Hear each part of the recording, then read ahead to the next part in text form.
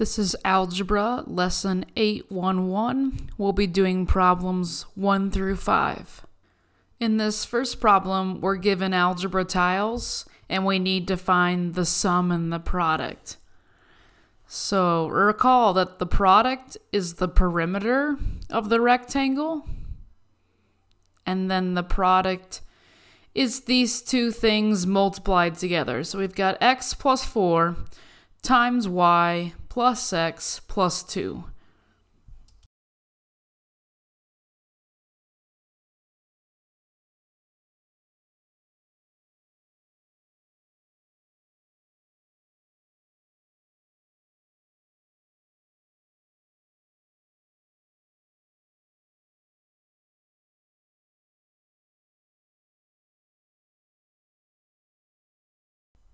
Okay, in 8 1 part B, we're asked to take this binomial and multiply them together.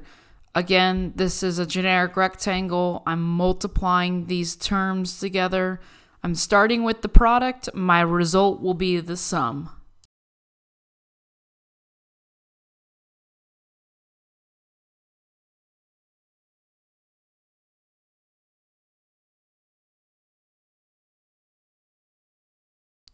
Okay, before we start problem two, there's a link in the lesson document to the algebra CPM tiles that are online because you guys won't have access to tiles. So, what I've done is I went to backgrounds and I loaded a corner piece, and then I can put in tiles and align them up in that corner piece to make my rectangles. Now, when you click a tile on the screen, it will turn red for negative, like that. If you double click it,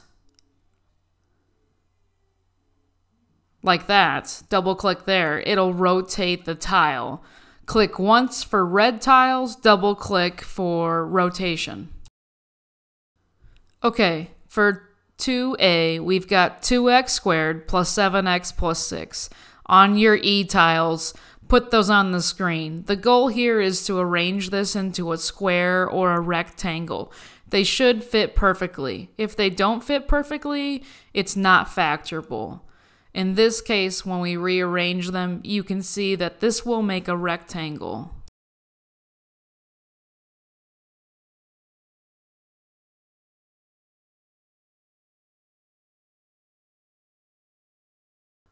Okay, so now I'm going to write the perimeter, which is the products of this sum.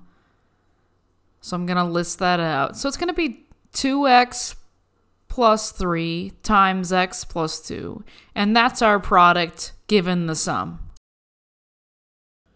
Okay, for the next problem, we need 6x squared plus 7x plus 2. Okay, so now you're going to try to put these tiles into a rectangle, and then you're going to write the outside perimeter, which is the product.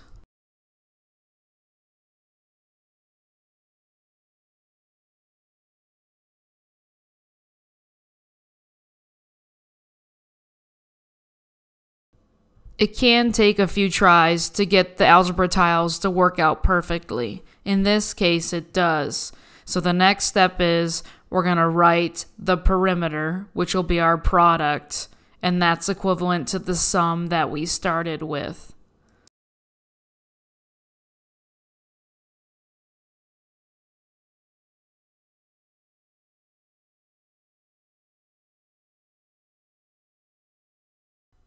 Okay, in part C, we've got x squared plus 4x plus 1. We're building a rectangle out of the tiles you should see that this one is not going to work out. In this case, it's not factorable. Part D is 2xy plus 6x plus y squared plus 3y.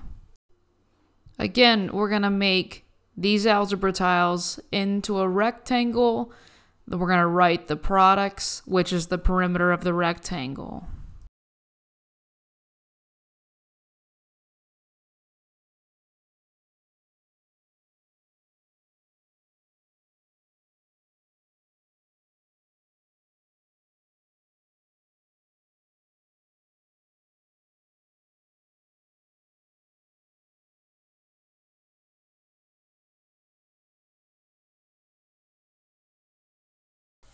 In problem three, they give us the generic rectangle. They want us to write the product and the sum from the generic rectangle given.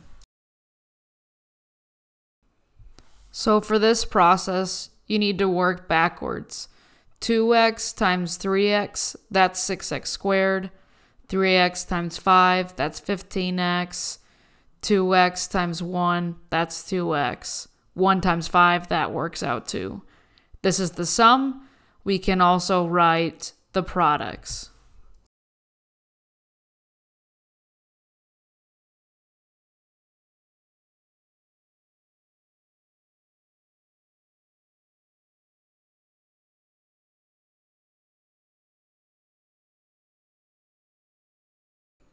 Okay, hopefully you tried part B and C on your own. Here are the solutions to part B and C.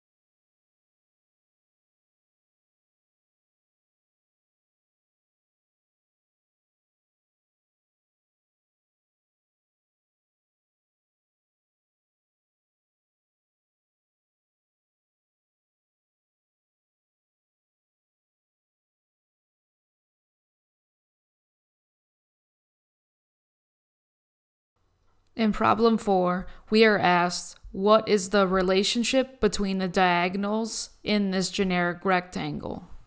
What do the diagonals have in common?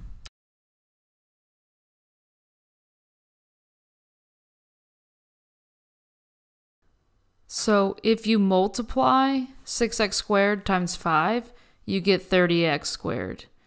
If you multiply 2x times 15x, you also get 30x squared.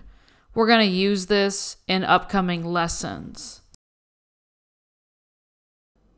The learning log says, Does Casey's pattern always work? Verify that her pattern works for all of the 2 by 2 generic rectangles in problem 8-3. Then describe Casey's pattern for the diagonals of a 2 by 2 generic rectangle in your learning log. Include an example on the screen. I'm doing an example right now. You can try more examples on your own and record it in your notes for the learning log.